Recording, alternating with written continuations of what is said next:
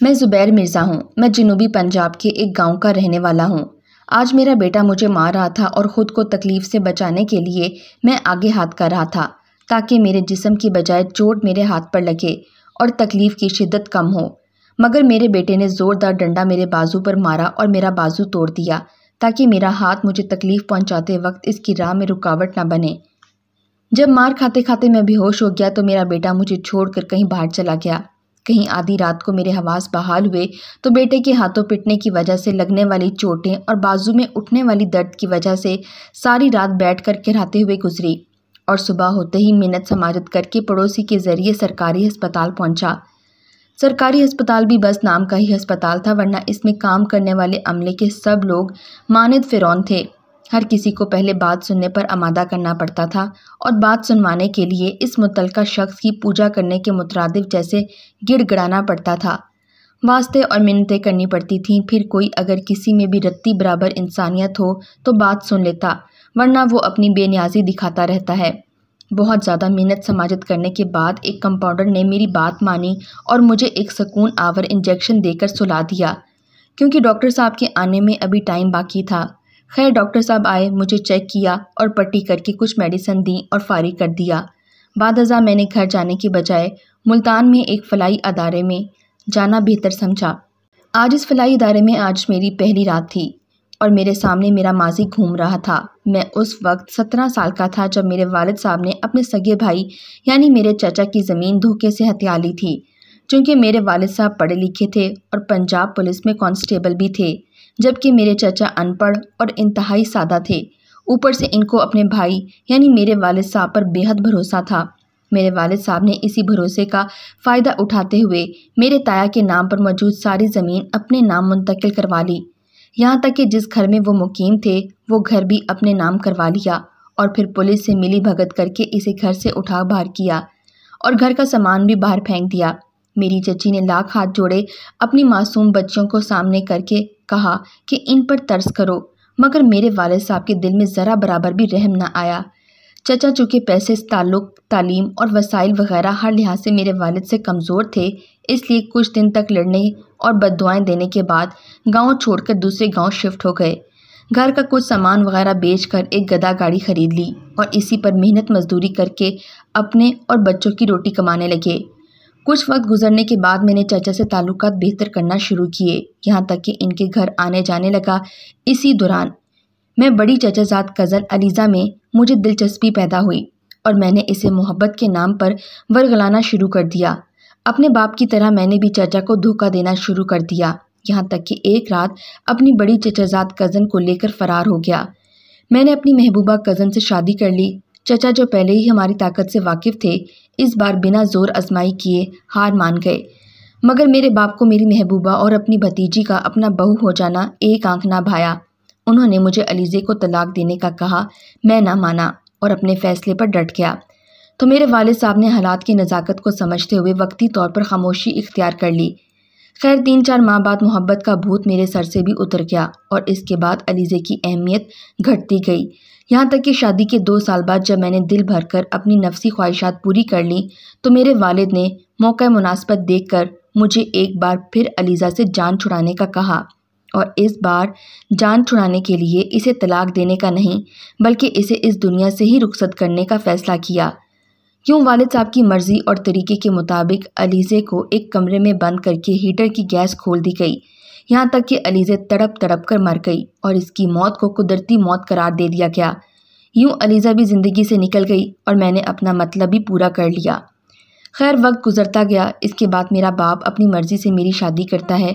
मेरी शादी के कुछ साल बाद वालदेन चल बसते हैं। अलबत्ता मेरा और मेरी बीवी का वक्त अच्छा गुजरता है। हमारा एक ही बेटा होता है। जब मेरा बेटा सोलह साल का था तो अपनी माँ के साथ लाहौर से वापस आ रहा था। दुराने सफ़र गाड़ी को हादसा पेश आया। मेरी बीवी भी मर गई। बेटा बच गया। और अब मैं कहता हूँ, काश। तब बेटा मर जाता, बीवी बच जाती। मेरा बेटा बुरी सोबत में पड़ा। फिर नशा और चोरी चकारी करने लगा। जब चोरी चकारी से भी नशा हासिल करने के लिए मतलूबा रकम पूरी ना हुई तो बालिग होते ही अपने नाम पर मौजूद ज़मीन बेचकर नशा ख़रीदने लगा। यहाँ तक कि वो सारी ज़मीन बेचकर मंशियात ख़रीदने पर लगा दी, जो मेरे बाप ने मेरी खातिर अपने सगे भाई से जो धोखे देकर हत्या ली थी और मैंने वो ज़मीन अपने लाडले बेटे के नाम कर दी थी। अब जब बेचने को कुछ नहीं बाकी रहा तो मुझे तशद्दुद का निशाना बनाता है और कहता है, जिस घर में रहते हो, ये घर मेरे नाम करो और ख़ुद कहीं और चले जाओ। मैंने ये घर बेचकर दवा ख़रीदनी होती है। मेरे इनकार पर मुझे पीटता है तो मेरे सामने मेरा माजी चलता है। कैसे मैंने और मेरे बाप ने जुल्म किए और आज किस मुँह से मैं अल्लाह ताला के सामने शिकवा कुना होता हूँ? आज मेरे बेटे ने मार मार कर मेरा बाजू तोड़ दिया और मुझे लगने लगा वो किसी दिन मुझे जान से मार देगा। इसी डर से मैं अस्पताल से सीधा यहाँ आ गया हूँ और अब जब तक ज़िंदा रहूँगा, यहीं रहूँगा और मौत के बाद लावारिस करार देकर दफना दिया जाऊँगा। वो ज़मीन मेरे जवाल की वजह बनी, जो मेरे बाप ने मेरे चचा से हत्या ली थी। और मैंने इस जुल्म में अपने बाप को सपोर्ट किया था। न सिर्फ़ यहाँ इतफा किया, बल्कि बाद चाचा की इज़्ज़त पर हाथ डाला और धज्जियाँ उधेड़ दीं। चाचा की बेटी को लेकर फरार हुआ तो चाचा पर दोबारा जुल्म किया और फिर इसी चाचाजाद को जिससे मैं मोहब्बत का दम भरता था, कत्ल कर दिया। तो एक बार फिर जुल्म की हद को क्रॉस कर लिया। लेकिन इसके बावजूद मुझे मोहलत मिली, मगर मैं राय रास्त की तरफ़ ना पलटा। यहाँ तक कि हर जुल्म की तरह मेरी पकड़ का भी वक्त आ पहुँचा। आज मैं किए गए हर जुल्म का नतीजा भुगत रहा हूँ। हम दो भाई हैं। मैं छोटा हूँ। माँ बाप के मरने के बाद हम दूरियाँ बढ़ने लगीं। छोटी छोटी बात पर झगड़ा होने लगा। कभी बच्चों की वजह से तो कभी ज़मीन की वजह से। मेरी अपनी दुकान थी अच्छा खासा कमाता था। बीवी ने मुझे कहा, हम अलग रहेंगे। तुम्हारा भाई और इसकी बीवी बच्चे हम पर बोझ हैं। भाई ने गायें बैसे रखी हुई थीं। इनका दूध बेच कर गुजारा करता था। मैंने अक्कड़ और गुस्से में भाई से कहा देख पा रशीद, तू काम काज तो कोई करता है नहीं। तुमको बड़ा समझकर आज तक बर्दाश्त करता रहा। अब मैं तेरे साथ नहीं रह सकता। भाई मुस्कुराया अच्छा पुत्र, कोई बात नहीं।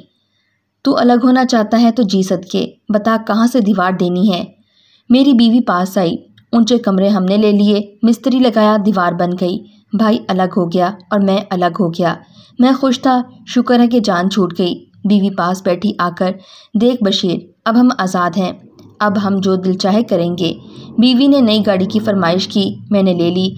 बीवी ने आईफोन का कहा, मैंने ले दिया। एक दिन भाई गली से गुजर रहा था। मैं इग्नोर करके जाने लगा। भाई ने आवाज़ दी। छोटे, क्या बात है पुत्र? घर में दीवार क्या उठी? तूने बात करना भी छोड़ दिया। मैंने जान छुड़ाते हुए कहा कि कुछ नहीं भाई, बस जल्दी में था। भाई ने कंधे पर हाथ रखा, पुत्र ख्याल रखा कर अपना, और फजूल खर्ची ना किया कर। मैं इग्नोर करके चला गया। मैं अनजान था कि भाई के हालात से। भाई का छोटा बेटा बहुत बीमार था। भाई के हालात भी ऐसे नहीं थे कि इसका इलाज करवा सकते। दूसरी तरफ़ मैं जिसके पास लाखों रुपए थे, मैं अनजान था भाई के हालात से। एक दिन भाई मुझे कहने लगा, बशीर, कुछ पैसे चाहिए थे। मैंने गुस्से से कहा, भाई यार, एक तो आजकल काम नहीं चल रहा दुकान का। ऊपर से तू मांगने आ गया। मेरे पास कुछ नहीं है। बीवी ने भी मेरी तारीफ़ की। अच्छा किया, इनकार कर दिया। खुद कमाए ना। एक साल गुजर गया था। मैं भाई के घर नहीं गया था कभी। भाई के हालात बहुत ख़राब हो गए थे। मैं अनजान था। गुर्बत का ये आलम था, भाई ने किसी से उधार लिया हुआ था। उधार वाला घर आया, भाई को गालियाँ दी। बहुत बेइज्जत किया। मोहल्ले वालों ने बताया कि मारा भी था इन लोगों ने। भाई दूसरी जानब, भाई का बेटा। मौत से लड़ रहा था। मेरा दिल तड़पा तो था, लेकिन मेरी बीवी ने मुझे रोक दिया। हम क्यों ये मुसीबत अपने गले में डालें? मैं भी रुक गया। फिर भाई का बेटा फोत हो गया। बस नाक रखने के लिए भाई के पास गया, झूठा दिलासा दिया, घर लौट आया। भाई वक्त से पहले बूढ़ा हो गया था, दाढ़ी सफ़ेद हो गई थी। मेरा कारोबार अरूज पर था। फिर एक दिन कुछ यूँ हुआ, मेरी दुकान पर डकैती हुई, चोर सब कुछ छीन कर ले गए और जाते हुए मुझ पर फायर भी कर गए। गोलियाँ मेरे सीने और एक पेट में लगी थी। मैं मौत के करीब था। बाज़ार के लोग इकट्ठे हो गए, मुझे अस्पताल ले गए। मेरी छः बेटियाँ और एक बेटा था। मैं मरने से पहले अपने बच्चों का सोचने लगा, इनका क्या होगा? मेरे बच्चों को कौन संभालेगा? मेरी छह बेटियाँ, इनका सहारा कौन बनेगा? मेरी बंद होती आँखें अंधेरा छाने लगा। जब होश आया तो मेरा बूढ़ा भाई मेरे पास बैठा था। मेरे बच्चे पास बैठे थे। मैंने आँख खोली, हाथ हिलाना चाहा, लेकिन मेरा जिसम सुन हो चुका था। डॉक्टर कह रहे थे कि बहुत सी नसें कट गई हैं। वक्त लगेगा ठीक होने में। मैं चल भी नहीं सकता था और ना ही उठ सकता था। सिर्फ़ देख और सुन सकता था। मैं ज़िंदा लाश था। मैं भाई की तरफ़ देख रहा था। भाई ने जेब से पैसे निकाले, डॉक्टर को दिए। ये लो, पूरे चार लाख हैं। डॉक्टर ने कहा, अब आप इनको घर ले जाएँ और मेडिसिन देते रहें। मेरे बच्चे भूखे बैठे हुए थे। भाई ने मेरी बीवी को आवाज़ दी। ती रानी, कुछ पका बच्चों के लिए। बच्चों को भूख लगी है।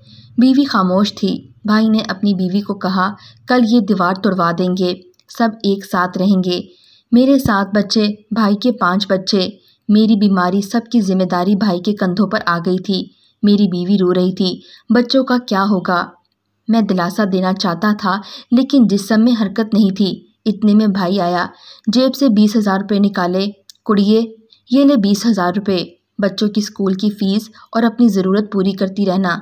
परेशान ना होना। बिल्कुल भी। मैं तेरा बड़ा भाई नहीं, बल्कि तेरा बड़ा बाप जैसा हूँ। बस, बशीर को वक्त पर दवा देती रहना। भाई ने मेरे इलाज के लिए अपनी गायें भैंसें बेच थीं रोज़ शाम को मेरे पास आता, मेरे जिस्म की मालिश करता, बच्चों को गोद में बिठाकर प्यार करता। भाई बूढ़ा हो चुका था, लेकिन हिम्मत नहीं हारा था। मुझे बिस्तर पर पड़े पाँच साल हो गए थे। बच्चे भी जवान हो रहे थे। एक दिन भाई मेरी शेव कर रहा था। मेरी नज़र पड़ी भाई के हाथों पर। हाथों पर छाले थे। भाई न जाने कौन सा ऐसा काम करता था कि हाथ जख्मी हो चुके थे। मेरी आँखों से आँसू बहने लगे। आखिर अपना खून अपना होता है। आखिर भाई भाई ही होता है। मैंने भाई के उठकर हाथ चूमना चाहा। मैं भाई को सीने से लगाना चाहता था। इतने में मेरी बड़ी बेटी पास आई। बड़े पापा, मुझे कॉलेज की फ़ीस दे दें। कल आखिरी तारीख है। भाई ने सर पर हाथ रखा। अच्छा मेरी तीरानी, मैं शाम को ला दूँगा तुमको पैसे। भाई ने जूता पहना, तेज़ कदमों से बाहर की जानब चल दिया। भाई का टूटा हुआ जूता, फटे पुराने कपड़े चीख चीख कर रोना चाहता था मैं, लेकिन जिसम में ताकत नहीं थी, फिर आखिर सात साल बाद मैं ठीक होने लगा और चलने फिरने लगा। मुझे एहसास हो गया था कि भाई, आखिर भाई होता है। फारिस इतना कहेगा, न झगड़ा करो आपस में। ज़मीन, जायदाद सब पल भर में खाक हो जाते हैं। सिर्फ़ साथ निभाते हैं तो रिश्ते। हम अना गरूर और दौलत के नशे में रिश्तों पर थूक देते हैं। लेकिन बाखुदा जब बेबसी की इंतहा होती है, फिर भाई ताकत बनकर साथ खड़े हो जाते हैं। नफ़रतें मिटाकर मोहब्बतों के दिए जला लो। अपने भाई से नाराज़ हो तो सुलह कर लो। इससे बड़ी कोई नेकी अमल नहीं। भाई के घर ज़रूर जाया करो। चाहे कुछ ना दो, एक दूसरे का हाल हवाल पूछ लिया करो। ये वो रिश्ते हैं जो धूप की आग में साया बन जाया करते हैं।